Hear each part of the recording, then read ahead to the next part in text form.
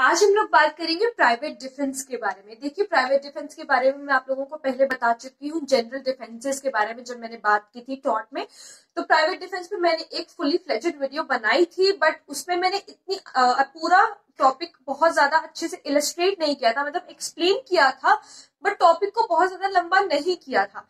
लेकिन आज मैं थोड़ा सा फर्दर उसको एक्सप्लेन करूँगी। देखिए प्राइवेट डिफेंस दो टाइप के होते हैं। मतलब आज इस वीडियो में हम लोग टाइप्स ऑफ़ प्राइवेट डिफेंस के बारे में बात करेंगे। तो प्राइवेट डिफेंस होते हैं दो टाइप के। पहला टाइप जो होता है प्राइवेट डिफेंस का, वो ये होता है कि प्राइवेट डिफेंस टू बॉडी यानी कि अगर कोई आप पर हमला कर रहा है तो अगर आप खुद को बचाने के लिए उसको कुछ उसको मार देते हैं या कुछ कोई ऐसा थ्रेट है आपके ऊपर कोई आप पर हमला कर रहा है या किसी ने आप पर बंदूक तान रखी है तो उसको बचाने की सॉरी अपने आप को बचाने के लिए अगर आपने उसके ऊपर पत्थर फेंक के मार दिया या कुछ ऐसे खुद को बचाने के लिए कुछ किया तो उसे हम प्राइवेट डिफेंस के नाम से जानते हैं।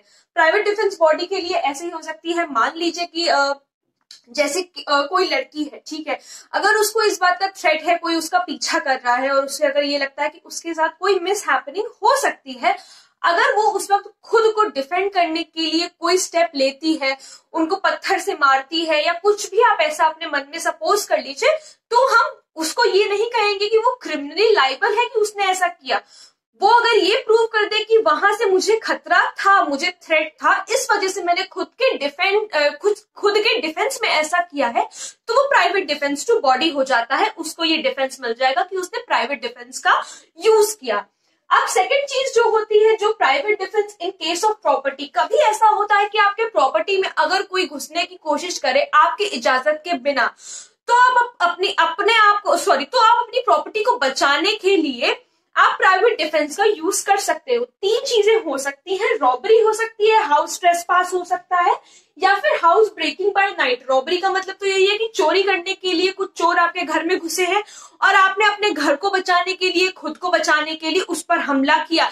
लेकिन, जैसा कि मैंने बताया था पहले प्राइवेट डिफेंस में, अगर आप लोगों ने वो वीडियो नहीं देखी तो प्लीज़ जाकर के पहले वो वीडियो ज़रूर देख लीजिएगा। और जैसा कि मैंने ये बताया था कि प्राइवेट डिफेंस का मतलब ये नहीं होता है कि आपने एकदम किसी को बिल्कुल जान से ही मार दिया।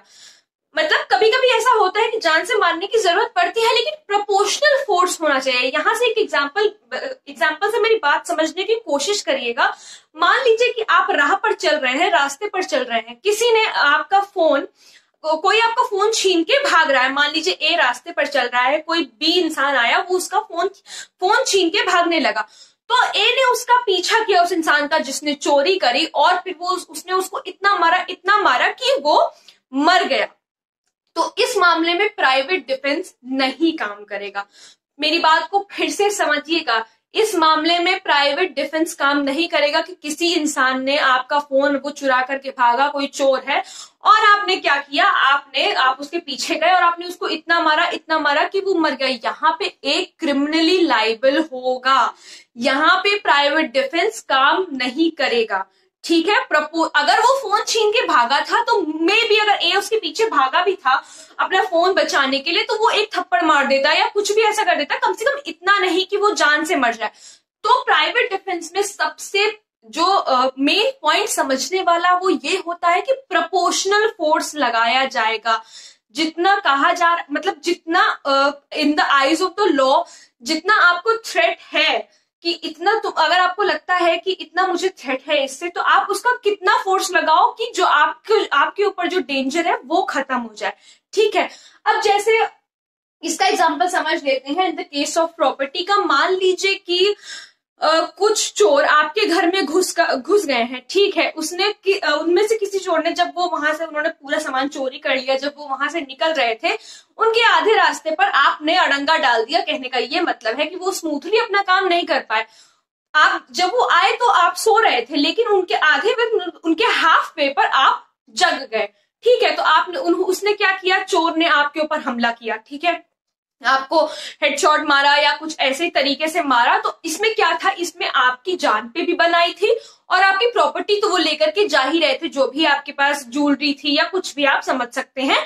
ठीक है, घर का सामान तो वो चोरी कर ही रहे थे और साथ ही साथ आपकी जान पर भी बनाई थी। तो ऐसे में जिसके घर पे चोरी हो रही है, वो क्या करेगा? उसने चोर को चोर को हेडशॉट मारा या कुछ भी ऐसा किया कि उसकी वहाँ पे डेथ हो गई। तो यहाँ पे इस केस में हम ये कहेंगे कि जिसके साथ ऐसा हुआ है, वो प्राइवेट डिफेंस का यूज़ कर सकता है, क्योंकि उस वक्त उसकी जान पे भी बनी थी और उसकी प्रॉपर्टी भी उसके हाथ से जा रही थी। तो अगर वो ऐसा ना करता तो ये दोनों ही चीज़ें उसके साथ हो जाती।